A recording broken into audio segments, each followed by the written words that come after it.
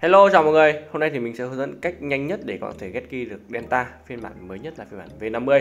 Để get key được thì các bạn làm theo trong cái video của mình. Cái video của mình thì nó chỉ tầm 2 đến 3 phút thôi. Nhưng bạn nào mà chưa có phiên bản Delta này thì các bạn sẽ bấm vào phần mô tả hoặc là phần bình luận. Link thì mình sẽ để ở trong phần mô tả và phần bình luận. Các bạn bấm vào cái link đó và các bạn làm theo cái hướng dẫn của cái link đó để các bạn tải cho mình cái phiên bản V50 này.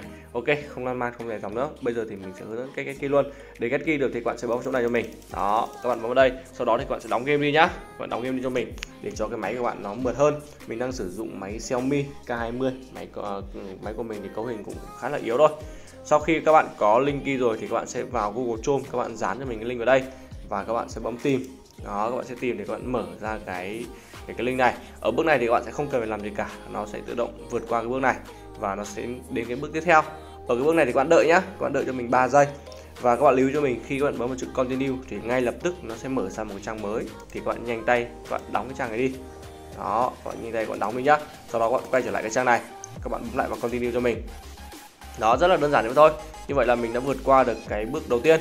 Bước tiếp theo thì các bạn đây này nếu như cái chỗ này mà các bạn không hiểu nhá. Thật ra thì nó rất là đơn giản thôi. Còn như nếu các bạn không hiểu thì các bạn sẽ bấm vào dấu ba chấm cho mình. Các bạn bấm dịch ra cho mình. Đó dòng đầu tiên thì nó sẽ yêu cầu các bạn bật thông báo. Dòng thứ hai là yêu cầu các bạn à, đọc bài viết đọc bài viết được đề xuất đúng không? Bây giờ thì mình sẽ bấm vào chất lượng thông báo này.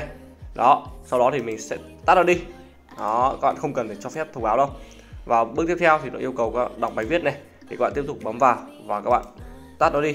Nó tắt luôn nhé và các bạn đợi cho mình, đợi cho mình khoảng 5 đến 10 giây thì nó sẽ mở khóa này. Đó, nó sẽ mở khóa ở cái tiến độ, hiện tại là tiến độ mở khóa là 0 trên 2 này. Thì các bạn đợi một chút nhé đó, đợi cho mình một chút thôi. Là nó sẽ tự động mở khóa. Các bạn nhìn không? Nó mở khóa này. Bây giờ nó còn đang, cái bước này vẫn chưa mở khóa này. Cái bước này mình làm đầu tiên mà vẫn chưa mở khóa này.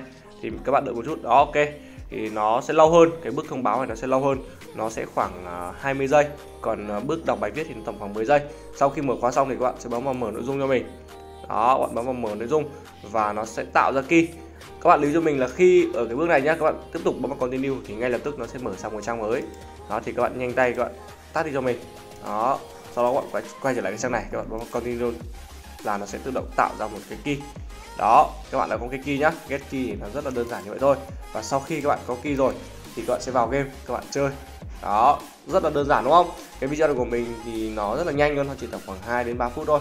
Vì đây là một cái video get key. Mình sẽ làm một cách nhanh nhất và đơn giản nhất để tất cả các bạn xem, các bạn đều hiểu và các bạn đều có thể get key được. Nhưng bạn nào xem video mà thấy hay thì nhớ like subscribe chia sẻ cho giúp mình để mình có động lực để làm nhiều video hay và hết anh em xem. Một cái yêu cầu nhỏ nho như thôi. Còn bây giờ thì, ok, bye bye, chào mọi người.